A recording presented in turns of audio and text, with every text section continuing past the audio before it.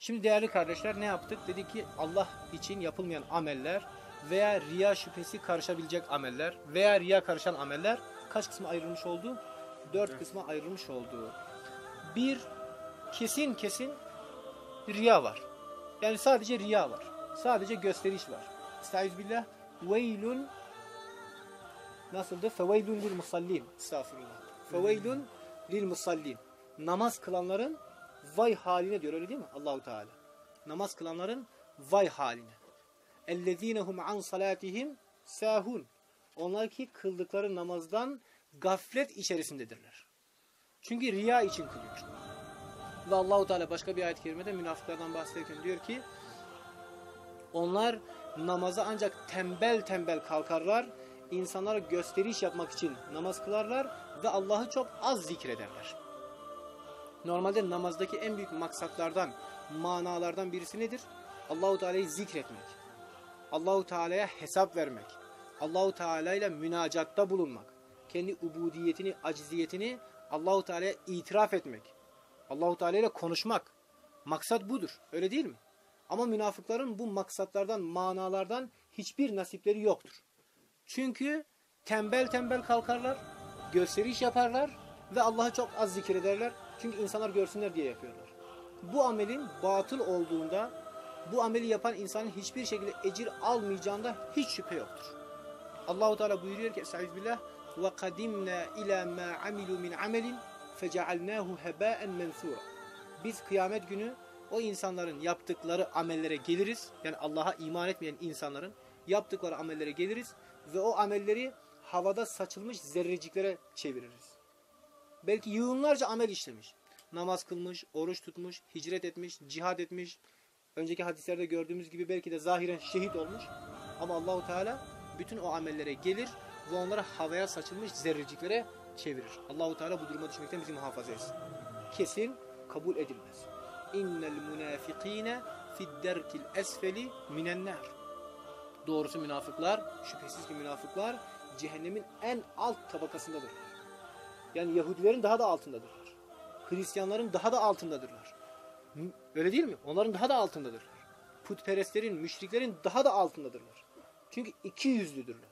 Çünkü münafıktırlar. Allahu Teala onlara öyle bir ceza vermiş. Allahu Teala bu şekilde amel etmekten bizi muhafaza etsin.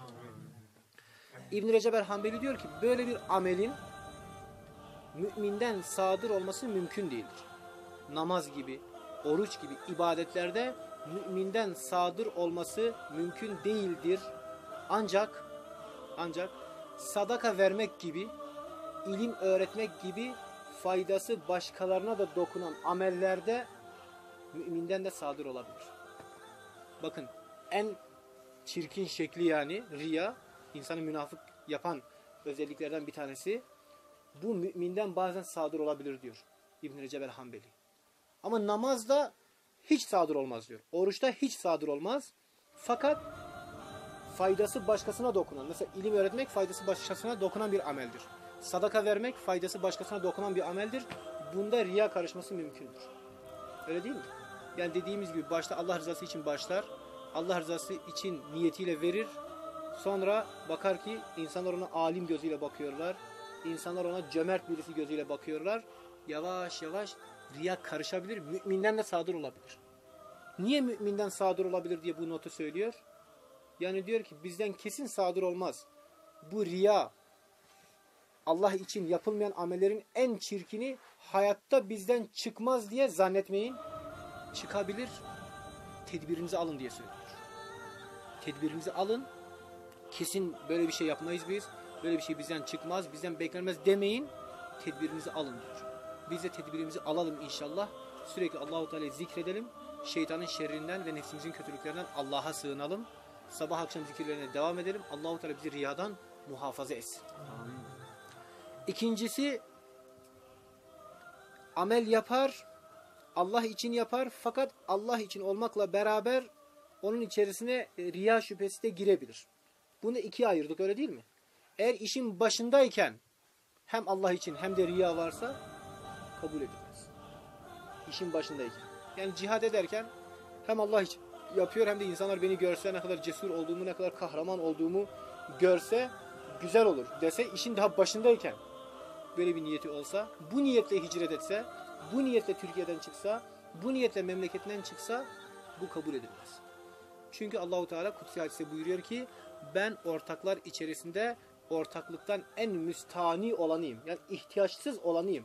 Benim hiçbir ortağa, hiçbir ortaklığa, hiçbir şerike ihtiyacım yoktur. Dolayısıyla bu hakikat anlaşıldıktan sonra kim yaptığı herhangi bir amelde benimle beraber başkasını ortak koşarsa ben onu ortak koştuğu şeyle, ortak koştuğu kişiyle baş başa bırakırım. Gitsin ecrini ondan alsın.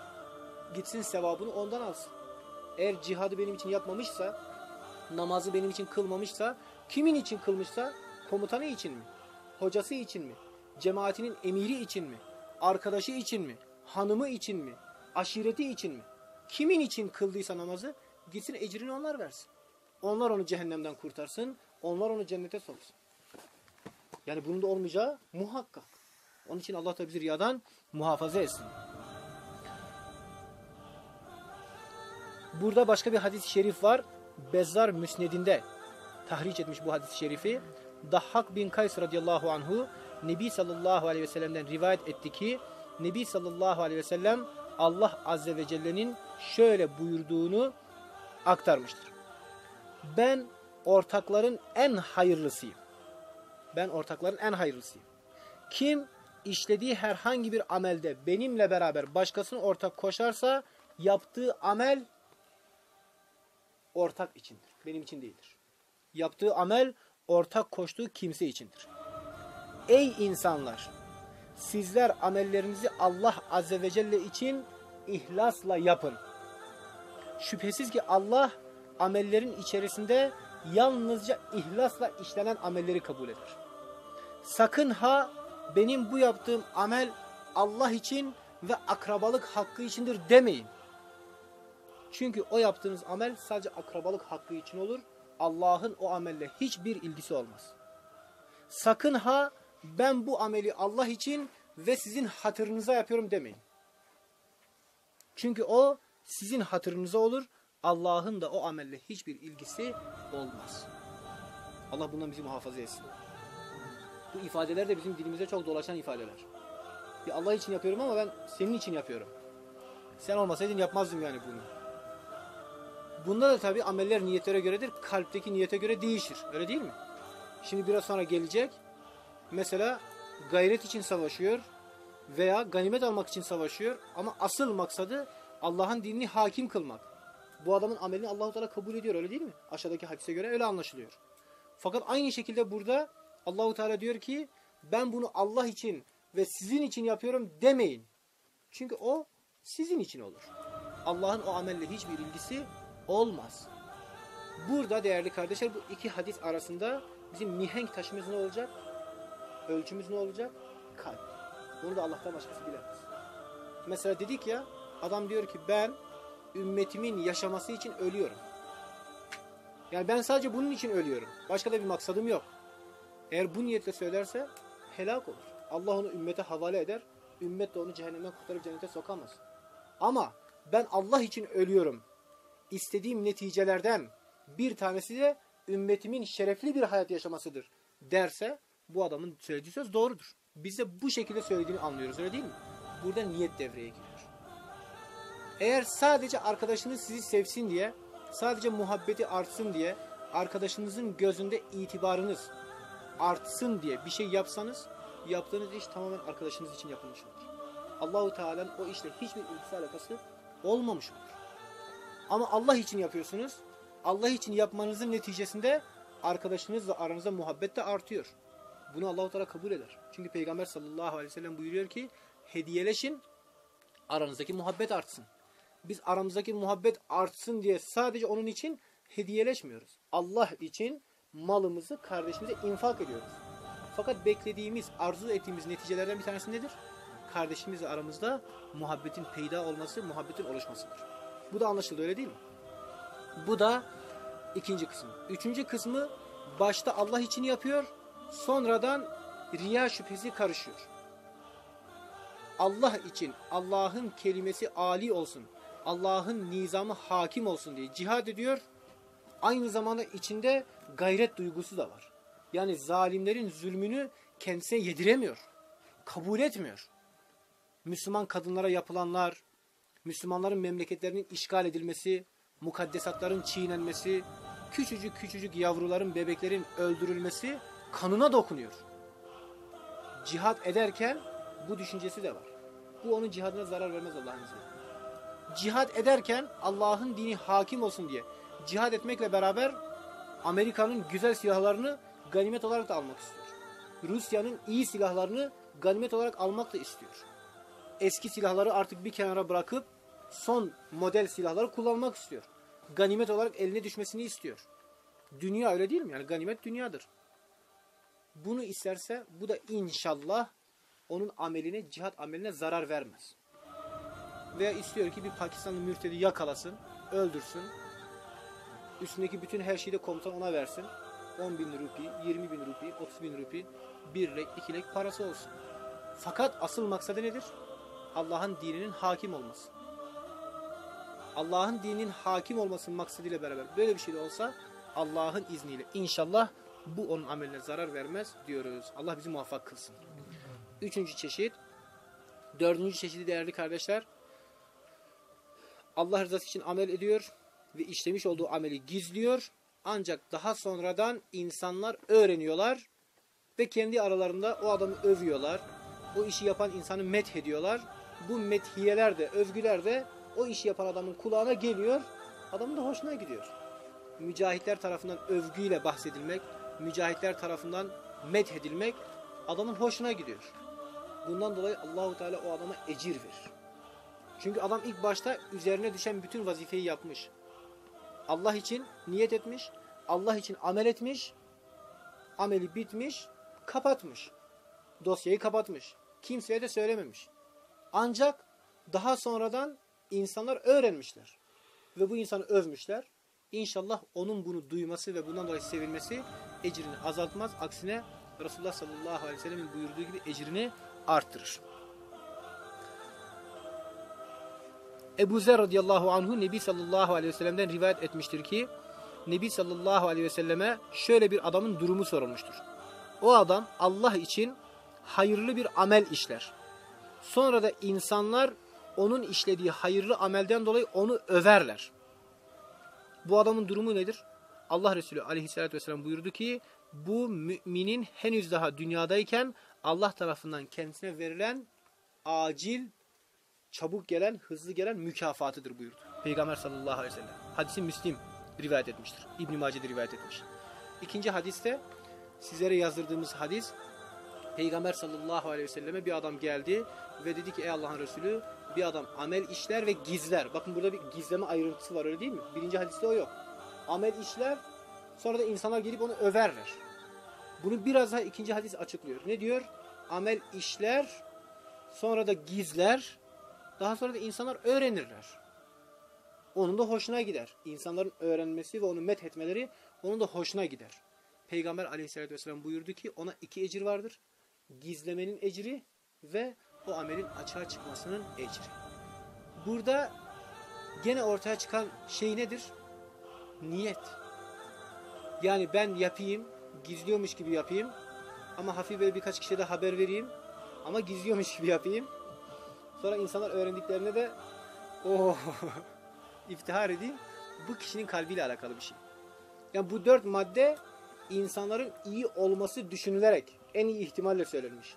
Yani mümin insanlara göre söylenmiş. Özellikle bu dördüncü madde öyle değil mi? Ama adamın niyeti kötüyse niyetleri en iyi bilen Allahu Teala'dır. Kalplerin içindekini bilen Allahu Teala'dır. Allahu Teala kalbimizi temizlemeyi bize nasip etsin. Değerli kardeşler bugünkü son sözüm şu olsun inşallah. Nefis tezkiyesi, nefis terbiyesi, nefsin ıslahı önemli bir şey. Daha sonraki derslerimizde de göreceğiz inşallah. Önemli bir şey. Bizim için hayati bir şey. Ekmek kadar, su kadar, hava kadar, toprak kadar gerekli bir şey. Önemli bir şey. Fakat şu bir gerçek ki biz eğer kalbimizi imar etmek ve ıslah etmek istiyorsak evvela kalbimizdeki kötü düşünceleri, olumsuz düşünceleri atıp temizlememiz lazım. Yapacağımız birinci şey budur. Atacağımız ilk adım budur. Evvela kalbimize kibir varsa kibri atacağız. Ucup varsa kendini beğenme bunu atacağız. Müslümanlara karşı kin ve nefret varsa bunu atacağız. Zikre karşı gevşeklik ve tembellik varsa bunu atacağız. Kalbimizi evvela temizleyeceğiz. Daha sonra kalbimize güzel, mübarek şeyleri yerleştireceğiz. İhlası yerleştireceğiz, takvayı yerleştireceğiz, tevekkülü yerleştireceğiz, yakini yerleştireceğiz, imanı yerleştireceğiz, temiz bir yere yerleştireceğiz. Bu neye benzer değerli kardeşler? Siz burada bir merkez kurmak istiyorsunuz mesela. Geldiniz, normal bir ev dağ başında. Evvelden ahır olarak kullanılmış. İçerisinde ahırda kullanılan malzemeler var. Hayvanların dışkıları var. İçerisi iğrenç bir şekilde kokuyor. Öyle değil mi? Siz ne yaparsınız? Hiçbir temizlik yapmadan hemen merkezin bütün malzemelerini getirip doldurur musunuz? O pisliklerin üzerine hasırı serip, minderleri serip hemen sobayı kurar mısınız? Yoksa evvela hiçbir şey yapmadan ilk önce merkezi güzelce bir temizler misiniz? Merkeze ait olmayan, merkezin işine yaramayacak bütün malzemeleri alıp dışarı çıkarırsınız. Bütün dışkılardan, pisliklerden merkezi temizlersiniz. Havalandırırsınız. Güzelce bir havalandıktan sonra, içerisi pırıl pırıl olduktan sonra bu defa temiz şeyleri, minderi, hasırı, sobayı, elbiseleri, çantayı, silahları getirir, yerleştirirsiniz. Bu normal her akıllı insan yapacağı bir şeydir. Bunun tersini yapmak için akılsız olmak gerekiyor. Kalp de öyledir. Kalpte hem kibir var hem de ihlası yerleştirmeye çalışıyorsunuz. Yani yerleşmez. Birbirini itikler. Birbirine zıt şeyler çünkü. İhlas, riya. Öyle değil mi? Birbirine zıt şeyler. Evvela riyayı alıp çıkaracaksınız. Sonra ihlası yerleştireceksiniz. Evvela ucup ve kibri atacaksınız. Ondan sonra imanı, yakini, tevekkülü yerleştireceksiniz. Kalbi kirli şeylerden temizleyeceksiniz. Ondan sonra güzel şeyleri yerleştireceksiniz. Geçen gün Esma-ı Hüsna diye bir kitap var. Darül Kitap'tan indirdim. Orada okudum. Çok hoşuma giden bir örnek vardı orada. Diyor ki bir insan lağım çukuruna düşse bir insan lağım çukuruna düşse o lağım çukurundan çıktıktan sonra üstü başı berbat manzara da berbat kokusu da berbat o adam ne yapar? Evvela hiç kimseye görünmeden güzelce bir banyo yapar. Güzelce bir temizlenir. Güzel kokular sürünür. Ondan sonra da insanlar içine çıkar. Bir insanın lağım çukuruna düştükten sonra benim vaktim yok, acelem var, hemen gidip işlerimi halletmem lazım deyip çarşıya pazara çıkması için ahmak olması lazım. En ahmak insandan bile ahmak olması lazım. İnsanların içine çıkmaya yüzü olmaz ki onun. Üstü başı berbat. Acelesi de olsa evvela bir temizlenmesi lazım. Günah işleyen insan da aynen böyledir diyor. Yığınlarca günah var. Evvela ne yapması lazım? Çarşıya pazara gidip alışveriş yapmadan önce, insanlarla oturup konuşmadan önce, işlerini halletmeden önce evvela bir kendisini temizlemesi lazım.